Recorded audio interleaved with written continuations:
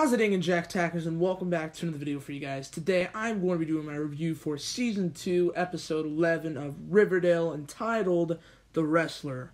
Let's get into this. Now, there's definitely a lot to talk about here, but there's just like a couple major storylines that I want to talk about, and that uh, strictly being kind of like the mythos of Riverdale. We get a little more backstory to Pickens Day and uh, the South Side and the North Side and what's going on with them. And then also the relationship dynamic kind of with uh, Archie and Hiram and everything going on with them, which honestly was just super intense and just every time they were on screen, I was just like glued to my television. And I, I, I mean, that's how you know that those scenes were good. And this episode, for me, was really interesting and, and it was just like it was good and I really enjoyed it. And uh, yeah, definitely better than last week's episode, I'd say. Not that last week's episode was bad, but I definitely found myself liking this episode a lot more. Um, and then the other uh, storylines uh, include uh, Betty's uh, brother uh, Chic and um, him being a webcammer, like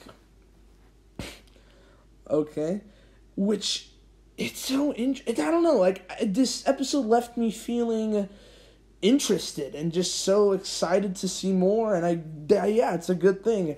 Um but yeah, like I was saying, the uh, Archie and Hiram dynamic uh and their relationship finding out why Hiram doesn't like Archie necessarily because of his dad, and Archie's like, I'm not my dad. That's one negative about Riverdale is that everyone thinks that um, you know, the kid's parents uh are bad, so then that they'll rub off on the kid, and you know, like they're their own person. Come on, guys, come on. That's the only thing that bugs me, but uh, hopefully you understand what I'm trying to say. But yeah, I love this episode um, with them, especially in the wrestling and uh, you know, just Hiram being just kind of like intimidating and just such a presence towards Archie, and it was just really intense, and uh, that's that's what I enjoyed most about this. Um, and then yeah, like I said, the mythos of Riverdale, if you want to call it that. Um, you know, when Jughead was interviewing uh, Toni's uh, granddad, uh, grandfather, and they all march in on the Pickens Day festival or whatever with the maple uh, snow cones. And they're all protesting, kind of. They got the duct tape on their mouths, and they gotta share what's happened. You know, there's a massacre, basically. There's a slaughter, um, and Hiram pretty much, uh, or their ancestors. I mean, you know, I don't know if it was necessarily. I kind of forgot, honestly, if it was Hiram or I don't think it was Hiram, but because that one makes sense. But they uh, let in uh, the Pickens dude, um, which we find out the statue, its head is cut off at the end of the episode, which I'm not sure why that's a reason, but yeah. Uh, I'm sure we'll find out more about that in next episode and the following episodes of this season. Um, but yeah, it was, it's just interesting, and I want to kind of see more of like the Riverdale mythos. Like I want to see more of the history of Riverdale because I think there's a lot to discover there. And I, I think that's just kind of an interesting fact of the show that we haven't really explored too much about. So I'd like to see more of that. Uh, the only really other big storyline that I was talking about, like I said, was Betty's brother Chic.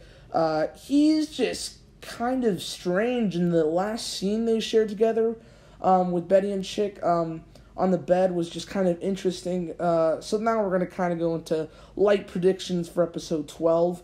Um, Dark Betty looks like she's returning and looks like she's going to be an Omega webcam girl. Like, ooh, yeah. Um, no, she has the black wig on and she kind of ha- just has like a bra on, a sports bra or whatever, and she's getting all sexed up, if you know what I mean. Um, so that's interesting, I guess. And we're getting more of Dark Betty, and, and Chic says it's kind of an escape, um, you know, from the outside world and the darkness he feels inside of him. Um, but yeah, definitely, it's pretty crazy, I must admit. But yeah, let me know what you guys think of this episode. If you like this episode, give it a thumbs up. Uh, or this video, if you like this video, give it a thumbs up, and I'll see you in the next one. Peace. Boop.